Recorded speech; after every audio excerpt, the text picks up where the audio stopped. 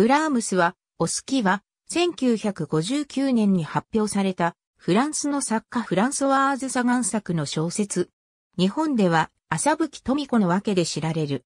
サガンがデビュー作、悲しみよこんにちはから5年後の23歳の時に書いた作品。ストーリーはパリを舞台に3人の男女が織りなす恋物語。題名のブラームスは作曲家のヨハネス・ブラームスのことで、ブラームスはお好きはシモンがプレイエルホールでのコンサートにポールを誘う手紙の中で、ブラームスはお好きですか？とさりげなく問う一文から。若くして一度離婚した後、現在は装飾デザイナーの職につき経済的に自立した39歳の独身女性ポールが主人公。互いに束縛せず、同棲もせず、お金の貸し借りもなし、という約束のもと、同じ独身の中年男性ロジェと交際を続けてきた、ポールは、ある日、若く心優しい25歳の青年シモンに出会う。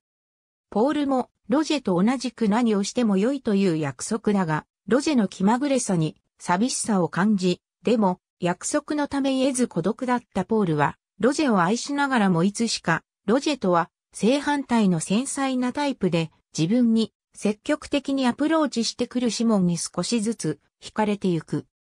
時には、寂しさに涙しながらも長い関係を築いてきた、ロジェか、裏表のないストレートな気持ちで自分を求めてくる。年下のシモンか、ポールの心は揺れ動く。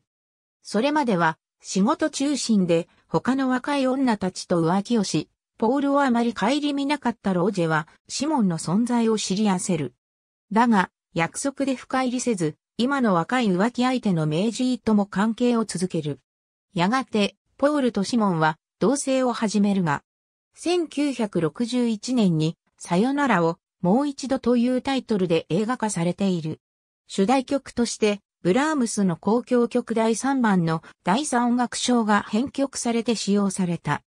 ABC、ブラームスは、オスキ文庫1961年5月12日、ISBN 41億211万8047、タワーレコードさよならをもう一度。